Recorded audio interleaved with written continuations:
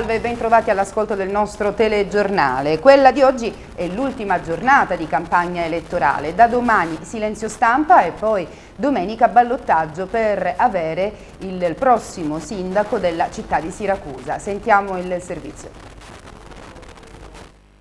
Ultime battute di questa eh, tortuosa e lunga campagna elettorale, domenica alle 7 infatti urne aperte fino alle 23 per eh, dare vita al ballottaggio. In Lizza per la poltrona di sindaco di Siracusa come sapete Ezechia Paolo Reale Francesco Italia. In queste brevi battute sentiamo com'è andata per ognuno di loro la campagna elettorale.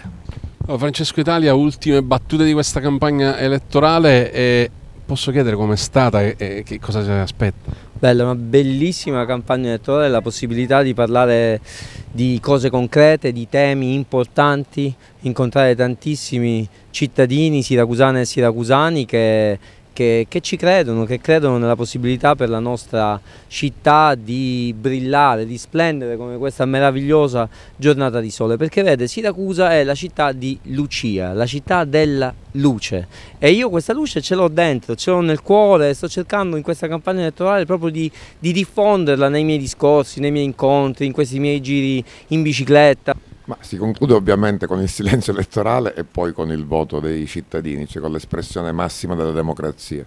Quello che mi posso augurare è che ovviamente ci sia un risultato più semplice e meno sospetto rispetto al, al primo turno.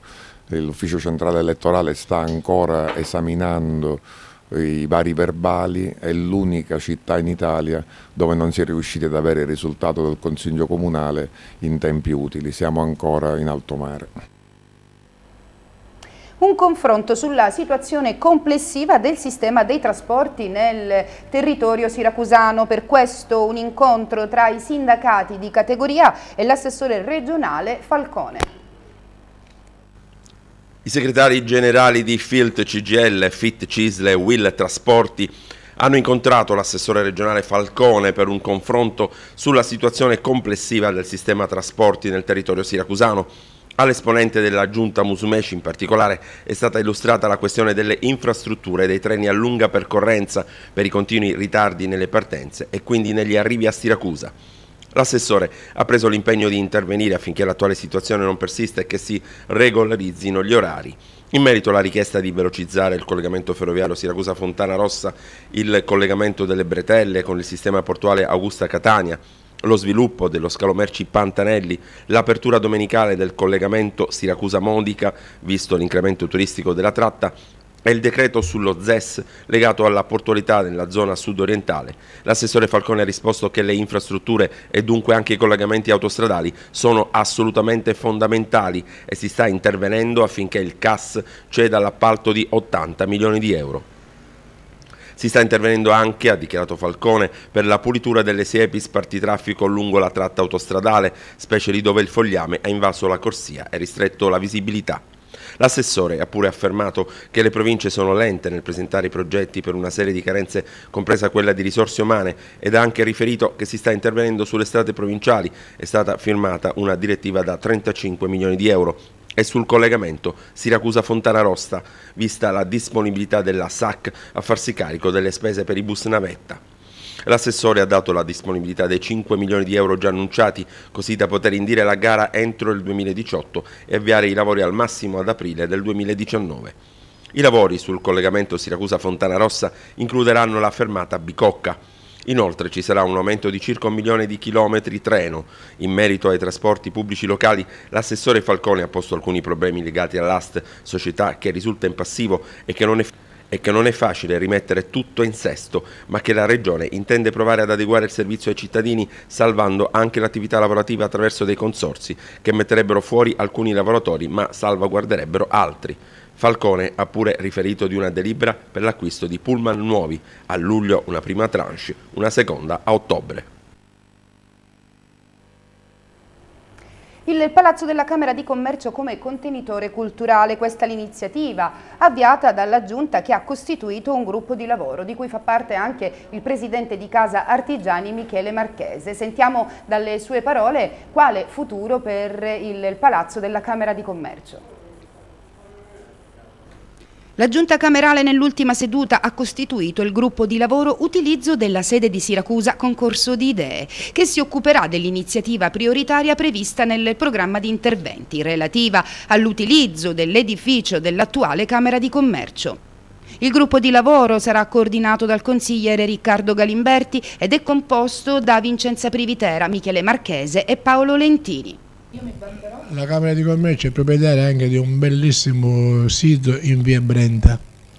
E l'idea mia, spero di essere idea vincente, è di portare i servizi in via Brenta. Per tanti motivi, motivo di parcheggio, motivo di utilità, perché essere nei, nei, paraggi di piazza Adda, via Brenta, eccetera, eccetera, rende più facile ai cittadini andare alla Camera di Commercio e che la Camera di Commercio non può essere il palazzo, deve essere dove vengono serviti gli utenti, gli iscritti al registro esercendo attività, ecco il REA.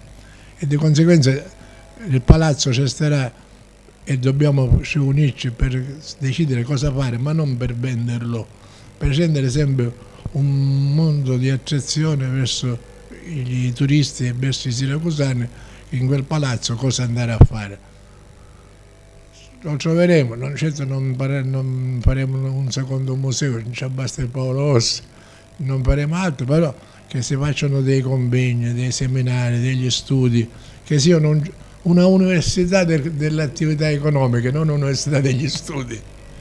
Facciamolo. Noi ci mettiamo i mezzi. Se qualcuno pensa che io sono avanti con gli anni, gli dico che per mia scelta non è stabilita la data della mia morte.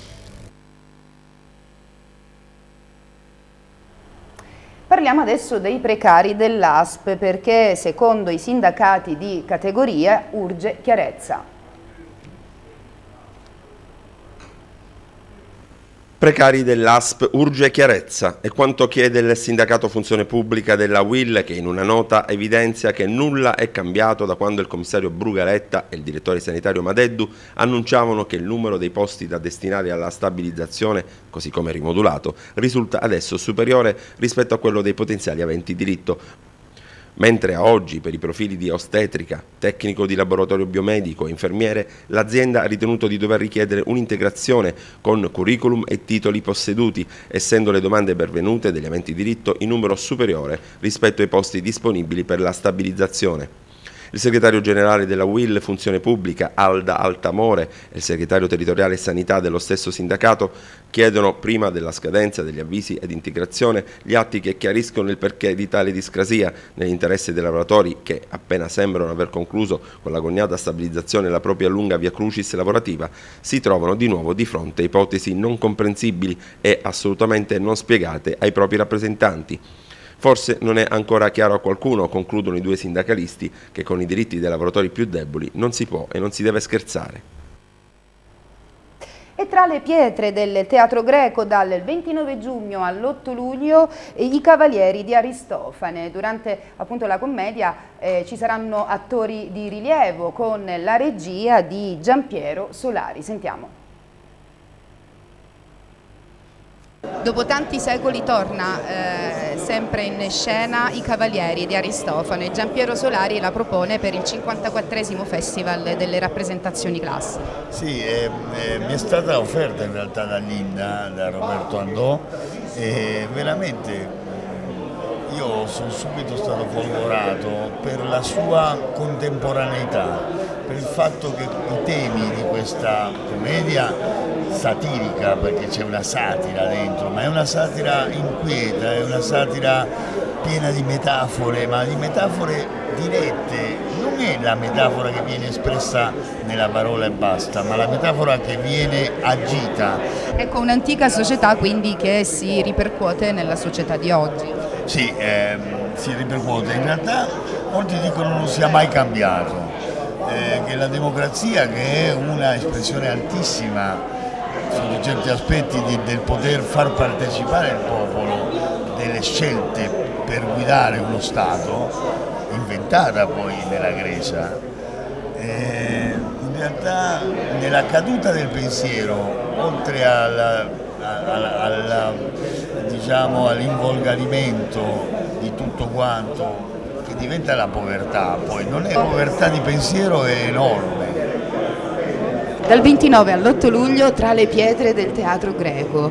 E cosa significa per lei, lei come attore che insomma da sempre in questo campo? Beh, una grandissima emozione perché è una novità assoluta per me che non ho mai avuto questo privilegio e quindi è un privilegio. Io sono molto contento, molto emozionato, è un impegno eh, gravoso ma soddisfacente eh, perché eh, le dimensioni del teatro, del palcoscenico, le dimensioni della compagnia anche perché oltre ai protagonisti eh, recitanti c'è un coro dei ragazzi della scuola che sono veramente pieni di energia. Quale personaggio ti hanno affibbiato? Il salsicciaio. Il salsicciaio che è ignaramente, cioè assolutamente non previsto, per, eh, viene candidato usurpare, diciamo, per usurpare il potere alla, all'allora primo ministro perché l'ha corrotto eccetera e il popolo decide di mettere un altro mercante, il salsicciaio e, e niente, poi c'è la lotta di potere tra il cuoiaio e il salsicciaio, è una bella parodia per la lotta del potere. Che tipo di linguaggio c'è in questa commedia?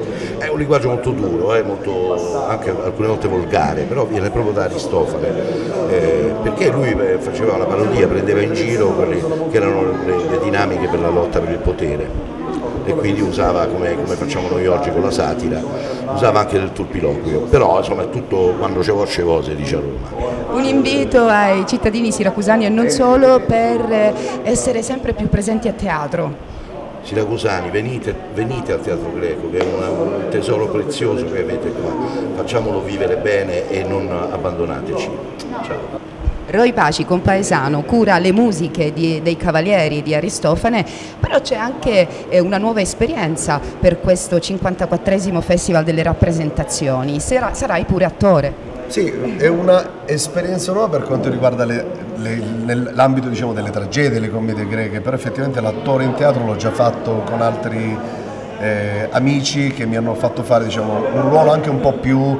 Eh, cioè, era un teatro d'avanguardia, quindi ero molto più libero, c'era, un minimo di canovaccio, però non dovevo attenermi a delle battute. Qui c'è un rigore molto, molto più importante rispetto a quello che, è quello che ho fatto in passato. Qui c'è la commedia, la commedia ha bisogno di rigore, ha bisogno anche di, di grande espressività e, e, devo dire che sono di fronte a, finalmente ad una cosa che mi ha dato proprio la forza di, di ricominciare a studiare su certe cose, perché questo è quello l'input più bello che quando fai un lavoro che ti appassiona così tanto di dire mi sento un po' debole rispetto a queste robe qui, quindi mi metto a lavorare, a studiare, a, a fare dei grandi anche sacrifici pur di poter portare a casa nei miei limiti no? quello che è la soddisfazione. Io sono anche un po' molto staccanovista nel mio lavoro, lo faccio con la musica, quindi mi sembra doveroso approfittarne solo perché come già detto anche in conferenza stampa ho anche il grande privilegio di, in questo momento di lavorare a fianco di,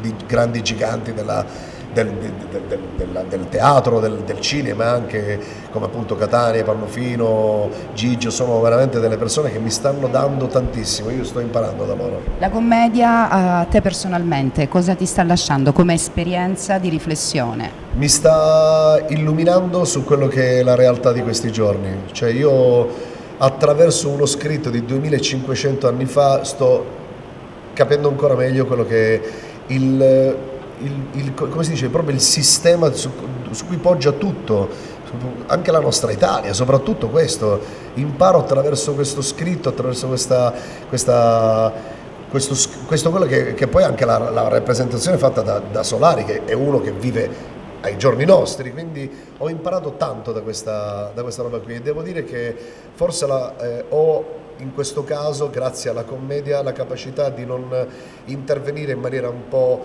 accorata come io sono. Io sono una persona molto eh, così impulsiva, prendo a cuore le cose, a volte sono anche duro. Ho trovato attraverso la commedia anche una capacità critica diversa, più matura, mi sta rendendo un uomo migliore. Bentrovati alla seconda parte del nostro telegiornale, andiamo a parlare di alcuni controlli dei carabinieri di Floridia insieme all'ASP di Siracusa che hanno eseguito diversi controlli negli esercizi commerciali della zona, focalizzando l'attenzione più sui panifici. Nell'ambito dei servizi ispettivi effettuati i carabinieri e il personale dell'ASP hanno, hanno riscontrato gravi carenze igienico-sanitarie all'interno di un panificio della città, a tal punto da determinare la chiusura dello stesso. E ci spostiamo adesso da Floridi, andiamo a Francofonte perché i carabinieri hanno arrestato un catanese ritenuto responsabile di eh, tentata violenza sessuale nei confronti di una giovane ragazza.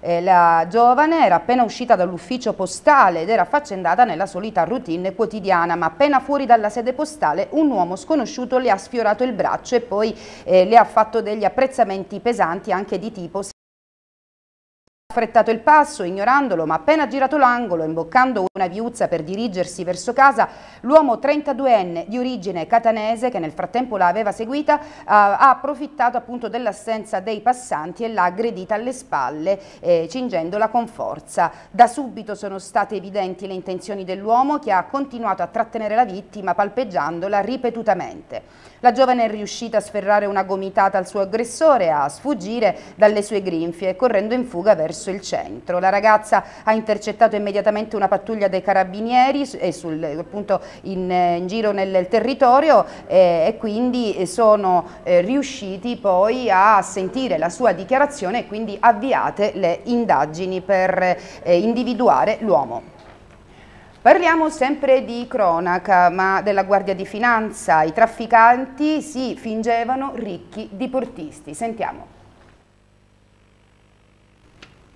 Le unità navali del gruppo aeronavale di Messina, ehm, della Guardia di Finanza di eh, Messina appunto, hanno intercettato a 50 miglia a sud-est delle coste siciliane un'imbarcazione a vela di circa 12 metri con a bordo due sedicenti diportisti che avevano sbarcato la notte precedente a Vendicari 70 migranti di origine pakistana. La sinergia con il gruppo Interforze Contrasto Immigrazione Clandestina, coordinato dalla Procura di Siracusa, ha consentito attraverso le testimonianze dei migranti di accertare che l'imbarcazione utilizzata per il trasporto trasporto fosse una barca a vela bianca con tendalino verde.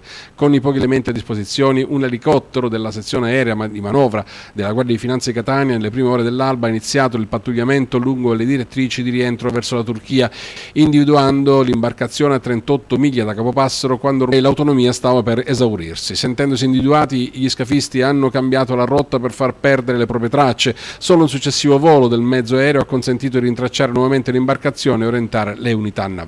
Il pattugliatore veloce del gruppo aeronavale di Messina, seguito da una vedetta del reparto operativo aeronavale di Palermo, ha raggiunto e abbordato l'imbarcazione a 50 miglia dalla Sicilia. Il riconoscimento degli scafisti è avvenuto da parte dei migranti grazie ad alcune fotografie scattate a bordo dell'unità navale e inviate a terra per il confronto. Ottenuto il parere favorevole della Procura di Siracusa, l'imbarcazione è stata condotta al porto di Augusta dove è giunta alle 6.30 di oggi. E gli scafisti al momento in cui sono stati fermati eh, hanno dichiarato di essere ricchi signori, amanti del Mediterraneo in giro di piacere e di avere smarrito i documenti dell'imbarcazione nel corso di un precedente controllo delle autorità greche.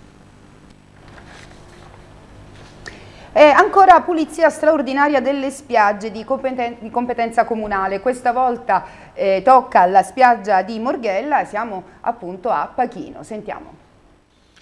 È partita dalla spiaggia di Morghella l'attività di pulizia straordinaria delle spiagge di competenza comunale. Il primo intervento è stato di tipo manuale e successivamente verranno utilizzati mezzi meccanici.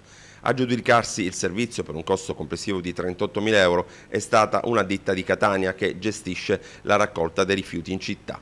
Le spiagge interessate sono dal lato ionico quelle di Balata e Marinella Marzamemi, Morghella e Cavettone Calafarina mentre nel versante del canale di Sicilia da Punto Rio, Punta delle Formiche a Costa dell'Ambra, Concerie, Fondo Vacca e Granelli. Il servizio comprende il posizionamento di 30 piccoli cestini di rifiuti con i sacchetti, per cui sarà previsto lo svuotamento giornaliero e saranno garantiti passaggi continui sia con i mezzi meccanici che in modo manuale. Oltre ad un intervento massiccio iniziale di rimozione straordinaria di rifiuti, seguirà un monitoraggio costante per garantire la pulizia degli arenili anche durante l'intera stagione. Quest'anno, ha dichiarato il sindaco di Pachino Roberto Bruno, siamo riusciti ad avviare ancora prima dello scorso anno la pulizia delle spiagge per migliorare le condizioni di decoro dei nostri meravigliosi arenili, liberandoli da rifiuti giunti a riva durante le mareggiate invernali per escludere problemi igienico-sanitari. Rivolgo il mio appello ai cittadini e ai turisti, dice ancora il sindaco, affinché durante la fruizione delle spiagge possa essere garantita la tutela dell'ambiente e del nostro meraviglioso mare, è patrimonio di tutti ed è nostro dovere preservarlo. E apriamo la pagina di arte e spettacolo perché eh, questa sera continua la manifestazione Sette note per sette giorni della scuola di musica Nino Cirinnà. Eh, quindi sentiamo nel servizio qual è il programma. Corso di svolgimento la manifestazione che è iniziata il 18 giugno e terminerà il 23 all'antico mercato, sette note per sette giorni, un'iniziativa organizzata dall'Accademia delle Muse, scuola di musica di Nino Cirinnà e la direttrice Mariuccia Cirinnà, in collaborazione con il comune di Siracusa e le feste Archimedee. Le giornate si articolano con esibizioni che riguardano pianoforte, chitarre arpe per quanto riguarda i concerti classici. Stasera invece è dedicato al carosello dello Zecchino d'Oro, in cui si esibiranno i bambini solisti accompagnati dal coro delle voci bianche. Le sorprese per la serata sono tante e soprattutto ci sarà un ospite importante all'antico mercato, Alessandro Gibilisco, il bambino che ha partecipato all'ultima edizione dello Zecchino d'Oro con il brano Mediterraneamente, che ha riscosso grande successo. La manifestazione terminerà domani con la serata dedicata alle rock band, in cui si esibiranno allievi dai 6 ai 19 anni che affronteranno repertori moderni all'interno dell'antico mercato in Ortigia. E continuiamo ancora con lo spettacolo saggio di fine anno anche per la scuola di danza Moving Time, una sala piena a Città della Notte per ammirare uno spettacolo durato due ore e mezzo. Sentiamo. Tutti sul palco di Città della Notte con gli allievi della scuola di danza ASD Moving Time con la direzione artistica di Valentina Romano. Hanno dato vita per il sedicesimo anno allo spettacolo della scuola preparato durante tutto l'anno accademico. Un saggio diviso in due tempi. Nella prima parte 30 le coreografie degli allievi dai 3 ai 13 anni che hanno composto lo spettacolo dal titolo La bottega fantastica.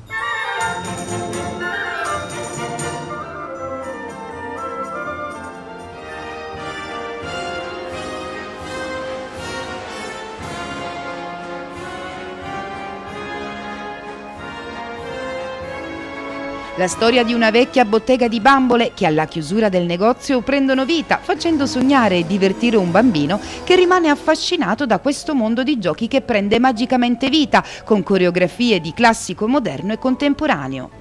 Le piccole allieve della scuola Moving Time sono state preparate da Valentina Romano, Jessica Germano, Stefania Bongiovanni e Salvo Alicata. D'effetto anche la scelta dei costumi, che fra luci e volteggi di danza hanno ancora di più illuminato e colorato il palco pieno di allegria e giocattoli viventi.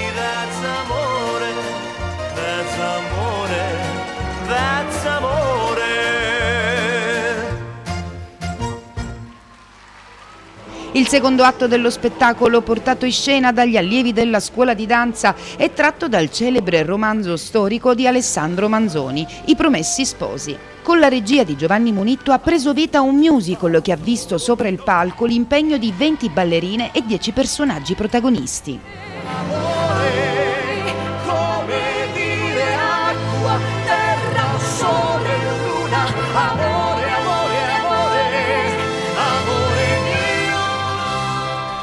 La storia scritta dal famoso poeta milanese portata in scena dai giovani ragazzi dai 15 ai 20 anni che fra canto e ballo hanno allietato la piena sala di Città della Notte con un pubblico che si è emozionato ripercorrendo le varie vicissitudini della romantica e fugace storia di Renzo e Lucia interpretata dagli animatori dell'agenzia Grandi Eventi Animazione.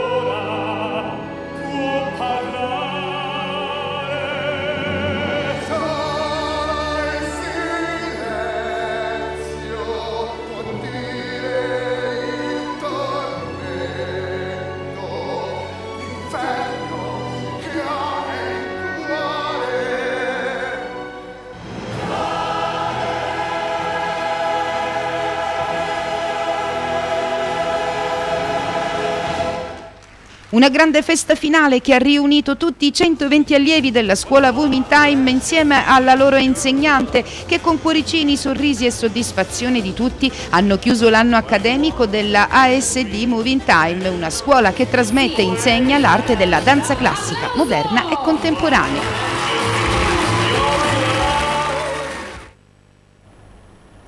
Nostro telegiornale termina qui, ma vi ricordiamo che dopo di noi ci sarà speciale informare dedicato ai due candidati a sindaco di Siracusa.